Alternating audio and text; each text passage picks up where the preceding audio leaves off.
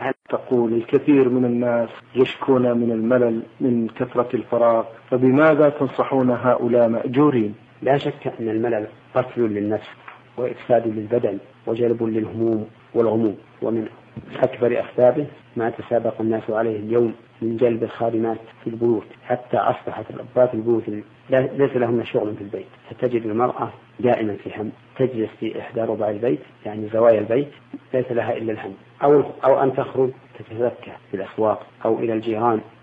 فتتعبهم وتملهم. ولو سلم الناس من هؤلاء الخدم وصارت المرأة هي التي تخدم في بيتها كما هو شأن نساء الصحابة في عهد الصحابة وكما هو شأن الناس إلى يومنا هذا لكان هذا خيرا وأولى. وفيه حفاظ المرء على ماله وحفاظه أيضا على عرضه وحفاظ أهله من من الخواء الفكري والبدني. ولهذا وبهذه المناسبة أنصح الإخوان المسلمين عن جلب الخدم إلا للضرورة القصوى التي لا يمكن دفعها إلا بذلك. أما إذا كان الحامل على هذا زيادة الترف والتنعم فإن هذا يجر بلاء كثيرا وتحصل به مفاسد إلا أن يشاء الله. ولا سيما إذا جاءوا بامرأة كافرة فإن ذلك أقبل لأن المرأة الكافرة ربما يكون هناك أطفال يغترون بها وربما يكون هناك أطفال بلغوا سن التمييز فيتساءلون لماذا هذه لا تصلي ولا تتوضأ ولا تصوم ويحصل عندهم ويحصل في نفوسهم تهوين الدين. والعمل به ولا سيما إذا لم يكن معها محرم